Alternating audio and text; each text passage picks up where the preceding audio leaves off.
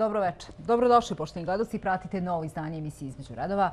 Inicijativa za pošteno zapošljavanje radnika u prosveti je tema večerašnje emisije. Zbog čega? Zbog toga što je organizacija Naučime upravo pokrenula takvu inicijativu i to zbog toga što je Ministarstvo prosvete pre par meseci najavilo da će negde oko 2500 radnika uskoro biti zaposleno na neodređeno vreme. Podsjetiću vas da imamo veliki broj onih koji trenutno rade na određeno vreme u svim školama širom Srbije. Čak 11.000 ljudi. I to u osnovnim školama 11.100, pardon, ukupno 17.000. U osnovnim školama 11.100, a u srednjim školama 5.746 ljudi radi na određeno vreme. Dakle, imamo najavu da će oko 2.500 ljudi biti uskoro zaposleno na neodređeno vreme. Otvara se pitanje koji će to biti kriterijumi prilikom zapošljavanja upravo tih ljudi. Gost studiju Belami televizije je inicijator ove inicijative, a to je Milan Petrović ispred organizacije Naučime. Dobro večer, dobrodošli. Hvala što Dobro večer, hvala što ste nas pozvali. E, da li ste dobili podršku za ovakvu inicijativu? Vi ste je pokrenuli jutros.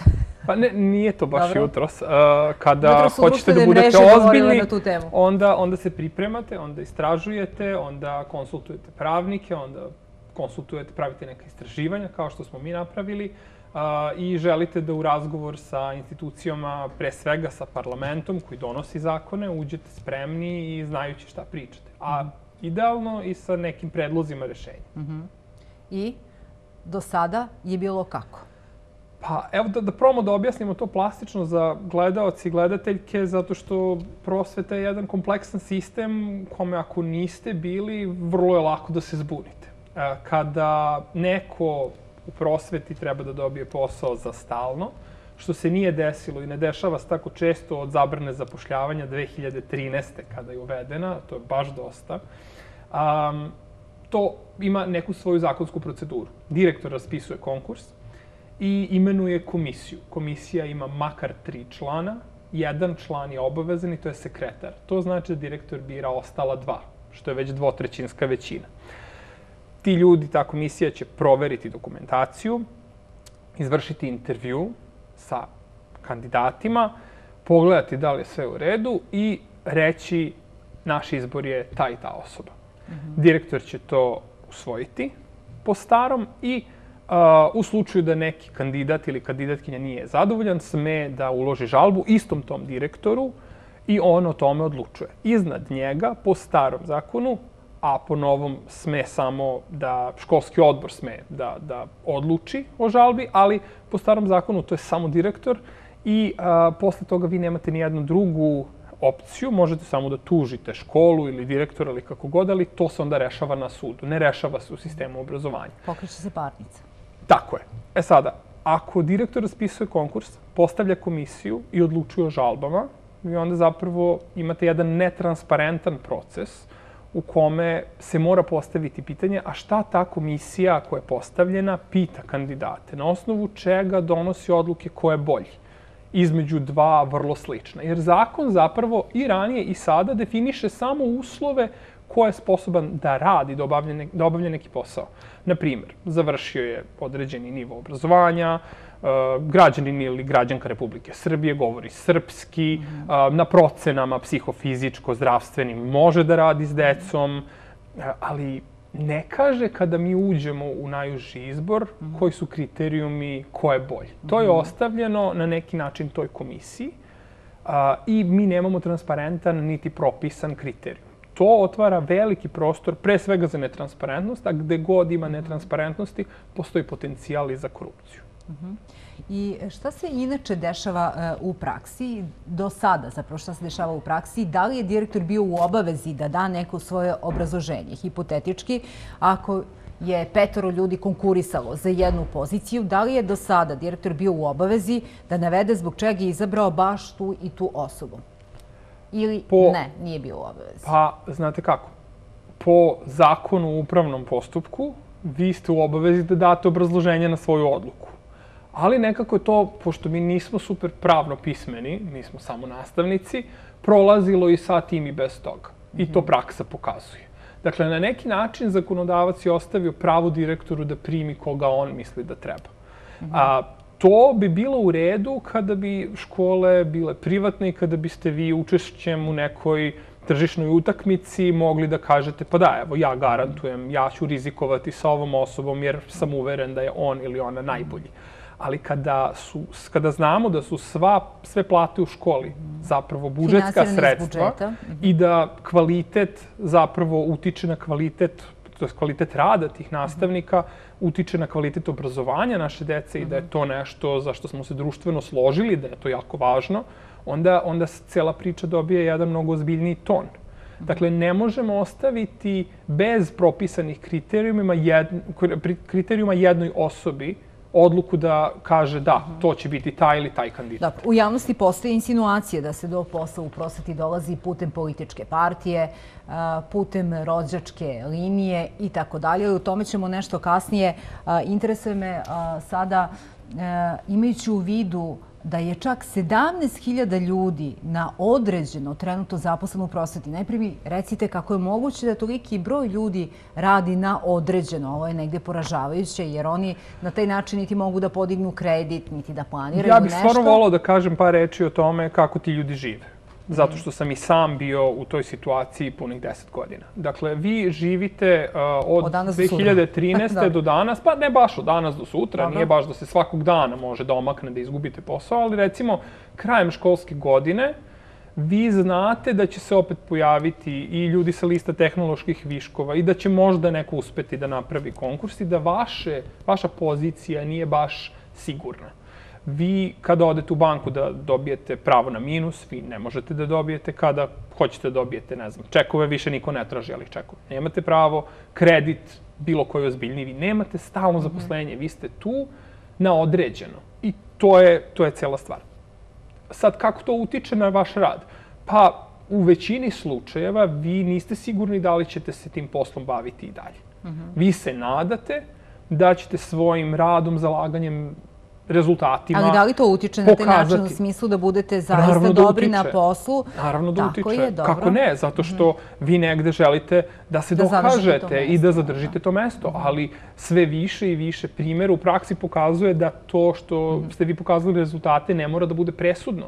I po svemu što nam pokazuje zakon o tome kako se biraju bez kriterijuma kandidati, pokazuje da vaša vrednost zapravo ne dolazi uvek od vrednosti vašeg rada što je jako demotivišuće. Tako je, da. Ali ovih 2726 novih radnih mesta, da li se to konkretno odnosi upravo na te ljude koji trenutno rade na određeno u nekoj školi, pa se zapravo oni mogu nadati da će oni biti zaposleni za stalno? Znate kako, nada je jedna vrlo lepa stvar zato što svako ima pravo da se nada. Ali ja bih se na mestu tih ljudi jako ozbiljno zabrinuo. Zato što ako kriterijuma nema, To znači da kada se konkurs raspiše, niko nije niti dužan, niti obavezan prema tim kandidatima da zaposli upravo njih, čak i ako su bili dobri. Ali šta se inače dešava u praksi? Izvinjam se što vas prekidam. Da li će jedan direktor voditi računa upravo o tim ljudima pa će onda reći evo vidite, ovaj čovek radi u mojoj školi sedam godina, sedam godina radi na određeno vreme, konačno je raspisan konkurs, ja ću ga sada prebaciti da radi na neodređeno vreme. Zaslužio je jer je tu sedam godina. Ili se može dogoditi da će prednost ipak imati neko ko je došao možda bez dana radnog iskustva. Šta, šta se dešava inače bez u praksi? Bez kriterijuma? Sve moguće. Apsolutno je sve moguće. I što je još strašnije, sve će biti legalno. Dakle, imamo osobu koja je 10 godina radila u školi, pokazala vanredne rezultate, ali iz nekog razloga direktor reši da donese, donese odluku i da primi osobu bez dana radnog iskustva. Legalno je jer nema kriterijuma. S druge strane, neki direktor može da kaže da, ali ja bih radije zaposlio osobu koja mi je tu sve vreme jer vidim rezultate, ali trpim neku vrstu pritiska i zbog toga moram da donesem drugačiju odluku, legalno je jer nema kriterijuma. E dakle, apsolutno je na volji i na mhm. moralnom uh, kredibilitetu jedne osobe u školi, a tako nešto, verujte mi, ne odgovara ni direktorima. Mi smo razgovarali sa njima, ta, taj nivo odgovornosti nikome ne prija. Mhm. Znamo dobro da mnogi uh, nastavnici nemaju pun fond časova. Da li će možda prioritet imati oni koji imaju veći fond časova. I da podsjetimo gledalce da neko ko ima do 50% tih časova, on ipak mora biti prijavljen na minimalac, je li tako? Znate kako? Porezi doprinosi mu se uplaćuju. Evo ovako, dakle, to su dve, dve, opet razumem, prosveta je komplikovana. Dakle, po trenutnom zakonu i po posebnom kolektivnom ugovoru, o tome bi neki sindikalista mogao mnogo detaljnije da vam priča nego ja, mhm. zovite ih, a, prednost pri a, popunjavanju, ajde da kažemo, da. tih mesta koji nastanu nekako mm -hmm. u prosveti, imaju ljudi sa takozvane A liste i to je u redu. To su ljudi koji su prosto izgubili deo norme, smanjilo se broj odeljenja u nekoj njihovoj školi da, da. i oni sada to moraju da dopune. Oni imaju apsolutnu prednost. Dakle, još uvek se ne sme otvoriti konkurs mora prvo da se uzme osoba sa A liste. Ako nema nikoga na A listi, a postoji potreba, konsultuje se B lista. To su ljudi koji su zasnovali radni odnos, ali ne sa punim fondom i oni imaju prednost. Ako ni na A ni na B listi nema nikoga, direktor sme, uz odobrenje ministarstva i šta znam koga još, da raspiše konkurs.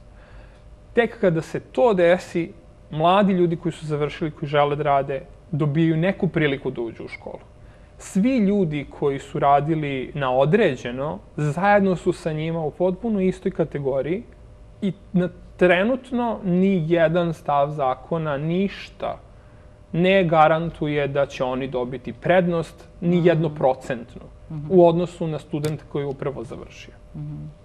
Ovo nije borba, kako da kažem, niti za održanje statusa quo, niti za nove ljude u prosveti, a, niti za stare. Ne, naprotiv, ne, ne želimo da se to deli. Mi želimo ovom inicijativom da postignemo da najbolji imaju prednost. Što znači da isto tako najbolji ljudi mogu što pre da reše svoju egzistenciju, da se posvećeno bave prosvetom, a to u isto vreme znači i da mi imamo najbolji mogući obrazovni sistem za našu decu. Da. A koliko je oni koji su ispunili uslov za odlazak u penziju, a još uvijek nisu otišli u penziju? To je stvarno pitanje za nekog druga. Tim brojkama apsolutno ne, ne, ne baratam. To ali... pitam zato što bi se na taj način oslobodilo bi se mesta za one mlade. Pa to, to opet mora... Pre dve godine bilo informacije da je dosta takvih ja uopšte ne sumnjam, ali, kako da kažem, ne raspolažem tim, tim podacima. Jer manje im je penzija od plate, pa iz tog razloga ljudi ja sam čekaju posljednji trenutak. Ja sam potpuno svestan da, da je ovo pitanje koje je socijalno u, u nekom mm. pogledu. Ali ono što mene jako interesuje jeste pitanje kvaliteta nastave.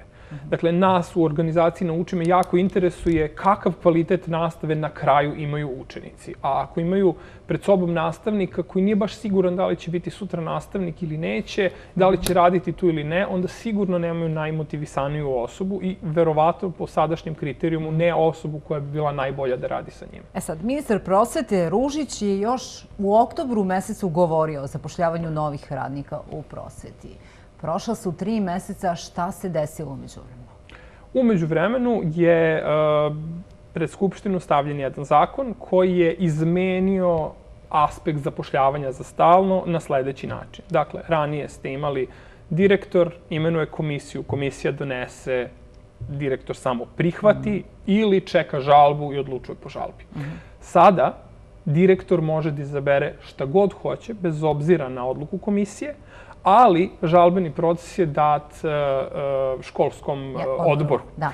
Ali uh, ono što mi sumnjamo je da bez kriterijuma vi ne, ne, zapravo jasno. nemate osnovu ni za žalbu ali u pravom smislu reči. Ali pitanje je bilo da li su raspisani ti konkursi, jer tri mesece je prošlo. Uh, da li se krenulo sa tim? Jer imamo zapravo 2726, a 17.000 ljudi radi na određeno. I ovo je Bilo bi jako dobro da se u ovakvu emisiju jedan ovakav studio pozove nekoj školske uprave koji bi imao podatke da kaže koliko je recimo u Nišu a, ljudi primljeno za stalno od 2013. do danas. Mm -hmm. Mi kao organizacija, nažalost, nemamo tu informaciju. Dobro, ja pitam sada Ali, za ovu novu kvotu, za to sam pitala. to, to, kažem, to su stvari koje bi, koje bi neko ko se time bavi i koje je mhm. plaćen iz budžeta da vodi račun o tome, da. bi morao znati Mora te podatke. Da. Ali recimo, mi smo u pripremi za ovu inicijativu radili jedno istraživanje, Dobro. jer je zakon dao pravo školama da donesu uh, sobstveni interni pravilnik o tome ko je za njih najbolji na konkursu.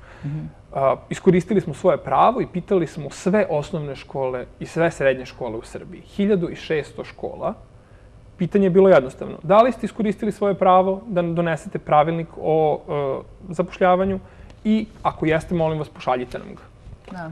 Samo osam škola Je iskoristilo na to pravo. Ne, ne, ne. Nego po imaju- zakonu da, moraju da, da da, odgovore da, da, svi, da. to nije, to nije upitno, ali samo osam je iskoristilo to pravo. I svi sa kojima smo pričali, i oni koji jesu i oni koji nisu, kažu da ako bi se takav pravilnik donosio, tako nešto mora da bude doneseno od ozgo i mora da bude u zakonu. Jednom rečju, ne žele da imaju takvu odgovornost i veliki broj direktora i ne želi da ima odgovornost tog tipa zato što to vuče odgovornost potencijalno i pred sudom na kraju krajeva ako donesete odluku koja se nekom ne dopada. Ali bez kriterijuma mi ne možemo zaista lako da kažemo ko je tu pravo. Dobro, ali ja sam očekivala da onda kada je Ružić najavio zapošljavanje ovih radnika, očekivala sam da će e, direktori početi sa raspisivanjem konkursa. Još uvek vi morate da dobijete saglasnost da biste raspisali konkurs i morate da konsultujete obe liste i to jeste važeći ugovor sa, sa sindikatima, dakle ta poseban kolektivni ugovor to definiše i to nije upitno, ali kako da kažem, i jedna osoba koja je zaposlena za stalno sa punim fondom časova dobije da predaje ka bar 400 učenika. Ako uzmemo prosječan broj Dobro. odeljenja, to znači da svake godine ste odgovorni za predavanje svog predmeta ka generaciji od 400 učenika. Koliki je radni vek puta 400 učenika, to je jako veliki uticaj na kvalitet obrazovanja u Srbiji i na sve ono što će se u društvu desiti kada te generacije izađu iz škole. Tako da je ovo, ja mislim, jako, jako važno pitanje. Mi moramo doneti kriterijume koji će garantovati da do posla u prosveti, bar u javnom školstvu, do univerzitetskom obrazovanju, prvi dođu oni koji su najkvalitetniji. Da li je tačno da kada je u pitanju zapošljavanje radnika u prosveti, da politika je tu umešala prste i da se do, ne, ne smemo da generalizujemo, ali na pojedinim e, mestima su došli upravo partijski kadrovi ili se do tog posla dolazi putem rođačke linije? Znate kako, ja sam, e, kada sam podelio svoju ličnu priču na tu temu, e, stvarno bio uveren potpuno naivno da je moj slučaj bio izuzetak. Ili bar jedan od redkih koji se tako dešava. Mi, mi svi ve, želimo da Čekajte, verujemo u dajte sistem. da upoznamo gledalce, odnosno da ih podsjetimo da ste vi radili u gimnaziji Svetozar Marković, da ste imali 8-9 godina Da, imali smo, iskustva i na kraju uh, ste vi ispali, jel tako? Niste, niste dobili posao. Da, to, to smo razgovarali baš u vašoj emisiji Da. bila je koleginica iz sindikata, to je bilo već pre godinu dana, da. Da, godinu dana je prošlo od tada i to jeste jedna ovaj, moja lična priča, a, ali definitivno ne jedina. I to je ono što je strašno. Dakle, od tog trenutka kada je ta priča bila kao simptomatičan slučaj došla u medije, ovaj, ja sam primio zaista stotine poruka, mailova u kojim ljude, ljudi žele da podrže, ali isto tako imaju potrebu da podele svoje priče. Bez tih kriterijuma koji su jasni, dešavaju se mnogo strašnije priče nego što je bila ova moja a, i koje Znate, nemaju svi niti kapaciteta, niti želje, niti snage da to Da rešavaju, tome. da pričaju, da, da idu pred sud, da, da tamo nešto dokazuju, da to bude neizvesno.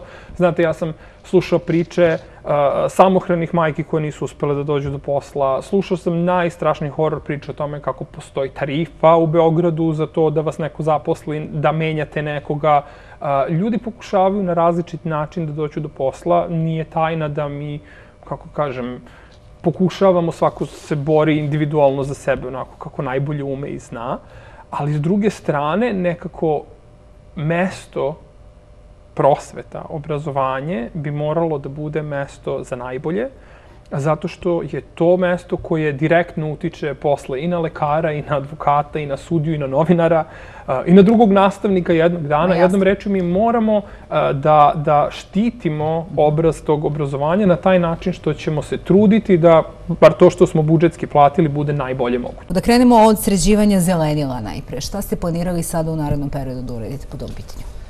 Pa, trenutno je u toku sređivanje parka kod suda. Ovaj, tu imamo a, povećanje zelenih površina, uradili smo rezivanje a, krošnji i uklanjanje nekih starih stabala koje su ugrožavala bezbednost i ono što će biti ovaj, jako lepo zavideti to je zalivni sistem koji će biti postavljen tamo. a ovaj, po principu kao onaj stari park ispred, ispred gradske kuće. Tako da će zelenilo, ovaj, da će park biti jako, jako zelen, zeleniji nego, nego ovaj, neke druge površine i a, sa, tim, a, sa tim aktivnostima ćemo nastaviti i kasnije na ovaj, nekim drugim mestima i u nekim drugim parkovima. -hmm. U parku smo, Čajr jeste li nešto planirali? U parku Čajr, tako -hmm. je, i na trgu Kralja Aleksandra. To su prva mesta gdje nameravamo da ovaj, također postavimo zalivne sisteme, jer je to najefikasniji način održavanja a, niskih zelenih površina. A, također, ovaj, mi smo od novembra meseca do danas posadili ovaj, oko 900 stabala na teritoriji grada Niša. Imali smo prošle godine veoma zanimljive akcije sa društveno odgovornim kompanijama. Akcija Neka Niš diše, gde smo sa kompanijama posadili ovaj, 70 stabala, zatim sa kompanijom Better Collective eh, 230 čak stabala na bulevaru Medijana. Imali smo akciju eh, na bulevaru Heroja sa Košara, Također imamo uređenje u ovoj godini dva kružna toka. Jedan je baš na tom bulevaru Heroja sa Košara i drugi je na bulevaru Nikole Tesle. Očekuje nas uh, prolećni zasad, znači gde mi u ovaj, prolećnom zasadu zasadimo oko 100.000 ovaj, rasada, znači to je uglavnom cveće ovo koje vidite. Također posle ide jesenji, rasad i to su neke najvažnije aktivnosti u sektoru zelenila. Ovaj, također smo u prethodnom periodu imali sređivanje parka Bubanj, gde smo uklonili stara stabla i grane, kao i nisko rastinje. Ovaj, nameravamo da sa tim aktivnostima nastavimo svake naredne godine, tako da ovaj, park Bubanj bude jedna zelena površina, a ne ovaj, neko nepristupačno mesto gde je teško doći. Ovaj, to je jedan od najvećih uh, parkova u gradu i morao bi da bude ovaj, dobro održao. Imamo zatim staro groblje.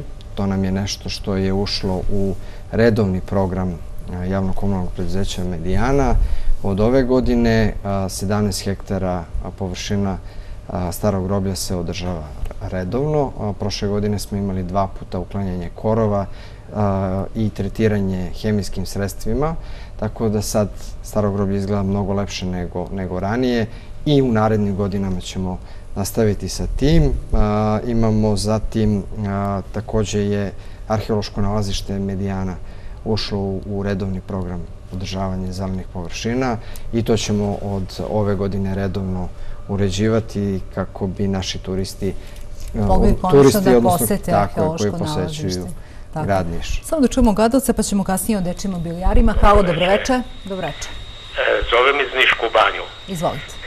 Hteo bih da postavim tri pitanja vašem gostu. Izvolite. Prvo pitanje, da li je nekad kao direktor obišao potez Kožara, most na Nišavi, gde je napravljena takva deponija otpada koji se doteruje iz grad Niš, to su betonski blokovi, e, stabla koja su sečena uređenjem grada Niša, sve je to doterano na toj deponiji koja nekde oko 15 hektara zauzima.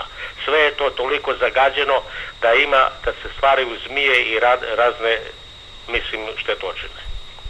I drugo pitanje, vrtop, naš tenisko igralište gde je, neke godine se održavalo to da se seče ono rastinje i žbunje što ima. Međutim, evo već druga godina, niko to ne gleda. To je pravi zmijarnik da deca koja idu u školu stalno kad je leto najlaze na zmije koje se tu šetaju. I drugo, ispod vrtopa postoji jedna a, kao skver malo. Nikad niko iz Medijane nije došao da taj skver uredi, da se posadi neko cveće, jer u budućnosti ulica Rooseveltova od Kožare će biti ulaz u Nišku banju kada se napravi ova e, pristupna linija od e, Malča prema banji. Da taj deo treba malo da se uredi kad dolaze strani gosti koji posećuju Nišku banju, naići na jedno pravo ruglo. U redu. Hvala vam puno. Hvala. Evo čućemo direktor. Izvolite. Da, nažalost, ovo, ovo je još jedno od mesta gde gde se pojavljuje ovaj, divlja deponija, neko je pravi. Znači, to je neko, neki nesavjesni građani, možda čak i komšije naše gledalca, ovaj, odlažu tamo ovaj, otpad i mi a, trudimo se da, da sva ta mesta obiđemo i da uklonimo. Postoji neka dinamika, postoje vanredni redovni programi i ono što mogu da obećam gledalcu jeste da će naše ekipe vrlo brzo otići na teren i ovaj, utvrditi koja je količina otpada u pitanju i e, za koje vreme bismo mi to mogli da, da uklonimo, jer naravno da želimo da svi građani grada Niša imaju e, dobre uslove za život i da nemaju problema ovaj, sa životnom sredinom. E, što se tiče ovog drugog pitanja, nije u redovnom sistemu održavanja, ali i to može ovaj, sektor zelenila da, da ovaj, jednostavno da naše kolege snime situaciju na terenu, da vidimo šta je tu sve potrebno uraditi i da u narednom periodu krenemo i sa tim redovnim održavanjem. To su stvari koje mi ugovaramo sa gradom koji finansira te naše programe i ovaj, ukoliko se oni saglase, neće biti nikakav problem da i to bude predmet redovnog održavanja. Mhm. Dobro, kada je u pitanju postavljanje kontejnera, da li imate dobru saradnju sa predsjednikom opštine u smislu da li su oni na pravom mestu postavljeni, da li bi ih trebalo postaviti na nekim drugim mestima? Pričate o podzemnim kontejnerima? Ne, govorimo o ovim običnim kontejnerima i govorimo o opštini Niška banja. Da, ovaj, što se tiče kontejnera, postoje, postoje rješenje, znači, sekretarijata koje predviđa gde se, gde se ovaj, postavljaju posude za odlaganje komunalnog otpada. Saradnja sa predsjednikom gradske opštine Niška banja je izuzetna i da ne kažem da se čujemo svaki dan, ali se čujemo jako često i razmenjuju informacije o svim tim nekim problemima koji se pojavljuju na terenu i trudimo se da zajednički rešavamo te komunalne probleme građana. Tu nema nekih većih problema što se tiče posuda.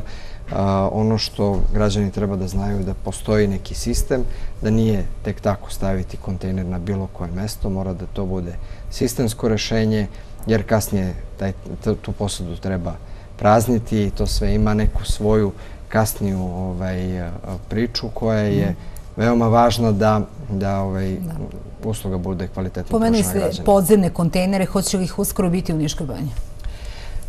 U Niškoj banji verovatno ne ove godine.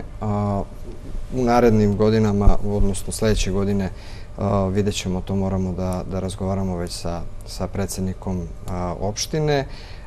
Trenutno u gradu imamo dve gradske opštine koje imaju podzemne kontejnere, to su Medijana i Pantelej. I ovaj, mi smo, imamo 366 podzemnih kontejnera u gradu na 152 lokacije. Ono što je veoma ružno jeste da se pored tih podzemnih kontejnera koji imaju manji otvor nego nadzemni kontejneri. Postavlja smeće. Tako je, ovaj, odlaže se... Kao da ljudi ne znaju da koriste podzemne kontejnere. Ali dobro, to je neka druga tema. Samo da pružamo šansu Gadovcu. Izvinjam se. Halo, dobro večer. Halo, dobro večer, Dušice. Pozdravljam vas i vaše gosta. Hvala. I evo, tela bi malo da se uključim i da prokomentarišem, jer sam kao upravnica stambene zajednice Parijske komune 17 pre nedelju dana. Možda i više, bila na sastanku profesionalnih upravnika koje je organizovala opština Medijana, gde je prisustovala ombudsman iz grada Niša, a tema je bila na, na što se najviše i na koje komunalna preduzeća sa osni, osnivač grada, čiji osnivač grad Niš se žale ljudi u gradu Nišu. I najveća je pritužba bila na inspekcijske službe. Tu i tamo Bilo je pritužbi dosta i na higijenu grada Niša, međutim, ja lično mislim da za higijenu grada Niša smo odgovorni mi građani takođe i što se tiče ovih divljih deponija. Pa to mi pravimo građani, molim, totalna neodgovornost. I to sam iznela na tom sastanku da treba da se o, povećaju kazane mere. A kada je u pitanju to da li može inspektor da uđe na privatni posed ušice. I ombudsman je izrečita bila, iako je bila u sukobu mišljenja, mislim da je bio predstavnik iz e, opštine Medijana, koji je rekao da ne može da se uđe na privatni posed. Ona je rekla, molim vas kolega, to nije istina. Može da se uđe na privatni posed, pogotovo ako na tom posedu jednu deponiju koja ima veliki broj glodara, koja ima gmizavce, koja preti da se zapali i Evo, koja u Niškoj banji se zapalila ta deponija, da, da. Ugrožava sta, ove stanare okolnih zgrada, tako da je bila i obratila se nama i rekla, molim vas, može da se uđe na privatni posjed. To htela sam da olakšam direktor, eto tako. Mm. Ja mislim da je to sa najviše granga. Da. Pojasnila nam je. Jasno. A što se tiče zelenila, pošto je direktor, e, direktor i za zelenilo, vidim danas ceo dan e, na televizija, e, na kanalima se vrti da je gradska opština Vračar u Beogradu povela akciju sadnje voća na slobodnim ovaj, javnim površinama. E pa mogu da vam se pohvalim da je stambene zajednice Parijske komune 17 i Branko Krsmanović 22 još dve godine ima, mi smo počeli sa zadnjom šljiva, ovaj, višanja i trešanja ovde. Ali bi zamolila direktora, ako može da nam pomogne, imamo jedan stari orah koji se suši, ne daje plodova, ako može da nam pomogne da ga orežemo, da bi mogli mi da napravimo unutar ovde blokovskog zelenila iza zgrade, nas nekoliko zgrada da zasadimo voće. Mislim da smo prvi poveli tu akciju, Bravo, a vidim da na sad zvona uh, Beograd objavljuje da su oni to prvi uradili. Hvala vam. Hvala vam hvala. Hvala vama na, na večerašnjem uključenju. Evo, direktor će reći da li može i na koji način zapravo možete da mu se obratite. Da, ovaj, pa mi smo, a, pored tog sastanka koji su a, upravnici imali u opštini Medijana, nedavno je i gradonačelnica Sotirovski inicirala, odnosno ovaj, neko od upravnika, a gradonačelnica podržala i organizovala sastanak sa upravnicima ovaj, stambenih zajednica i tu su bili direktori ovaj, svih javnih preduzeća. Tada smo otvoreno razgovarali o svim problemima i dogovorili se da svako komunalno preduzeće otvori mail adresu samo za upravnike gde oni mogu da prijavljuju svoje probleme. Mhm i ta mail adresa funkcioniše ne samo u našem preduzeću, već i u drugim javno-komunalnim preduzećima, tako da koristimo u priliku da pozovem mhm. i sve druge upravnike da se jave i da prijave svoje probleme. Nije problem što se tiče ovog starog oraha mhm. da naša ekipa iz Zelenila dođe, da vidi kakvo je stanje. Mhm. Jednostavno mora da vidimo da li je drvo zdravo i u kom je stanju, da li ugrožava nekog postoji procedura i ovaj, ako je to sve, kao što gospođa kaže, verujem da nema razloga za sumnju, mi možemo i da uklonimo taj stari vrh. Dobro. Sada ćemo malo ubrzati stvari kako bismo što veći broj gledalaca uključili i zamolili bih vas da budete malo kraći. Izvolite, dobro veče. Halo? Dobro veče. Ovdje je jedna gledateljka sa ledene stene, to Dušica. Izvolite, da, da. Znate šta, mi na ledenoj steni ništa nemamo niti prvenstvo imamo pijac, niti imamo pešački prelaz na zvani i stanica autobuska na ledenoj steni gore na brdo. Pa to je toliko opasno kad ide autobus prema e, Novo selo ili Minovo naselje, kad siđu ljudi iz autobus i prelaze na drugu stranu naselje. Pa to je opasno da neko pogine. Po 15 minuta čekamo, ne može da pređemo ulicu za ledenu stenu se niko ne trudi, ama baš ništa nemamo na ledenoj steni. Ulica malo Jasrebačka kao da je makadam. ono je užas. Ja toliko, stvarno da na ledenoj steni ništa od ništa nemam. U redu, to je vaš zahtev, znači pešački prelaz, ako sam vas dobro razumela.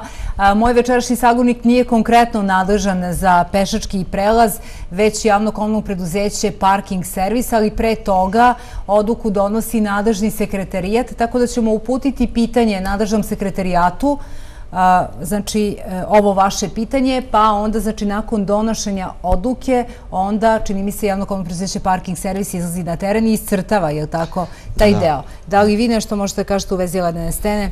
Pa ja ovaj, ovo, ovo zvuči ovako strašno kad čujemo, ali mislim da nije baš, baš tako ovaj, loša situacija na ledenoj steni. Nedavno je čak ovaj, gradonačelnica ovaj, obišla taj deo. Imamo, ovaj, građani su razgovarali sa gradonačelnicom i imamo imaju prilike znači, da, da prijave svoje probleme. Ja stvarno pozivam sve građane da ima prijem građana znači, gde mi dobijamo redovno zahteve iz kabineta ovaj, sa svim problemima i evo gospođo, ovaj, otvoreni poziv da dođete na prijem građana. Možete i u javno komunalno podrezeće Medijana ili u kabinet, sve jedno, i da prijavite sve svoje probleme. Apsolutno će biti sluha u gradskom Dobro, kada vi primate građane, prosto da kažemo gadovcima? Mi ćemo od 1. aprila imati prijem svakog zadnjeg petka u mesecu. Mhm, dobro. Halo, dobroveče. Dobroveče. Izvolite.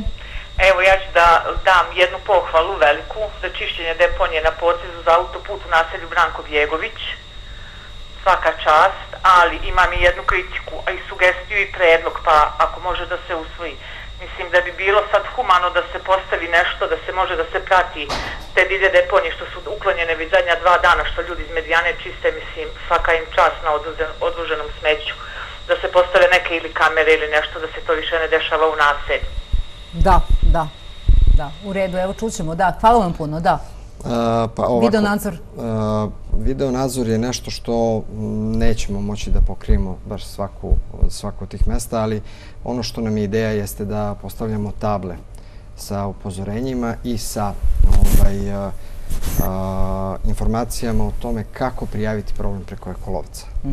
Šta mislite konkretno? Građani ovaj, jednostavno na taj način lakše će prijavljivati problem, znači preko QR koda koji vas vodi na, na aplikaciju Ekolovac, slikate, prijavite i mi onda dođemo i uklonimo to nešto malo što je, nego da čekamo da se nagomila veća Evo sad ćemo uključiti gledalca samo kratak odgovor. Šta mislite hipotetički kada bi kazne bile 5 ili 10 hiljada dinara i kada bi u jednom danu nadležni inspektori kaznili desetak ljudi, dvadesetak ljudi, mediji objavili te informacije, da li bi se smanjilo?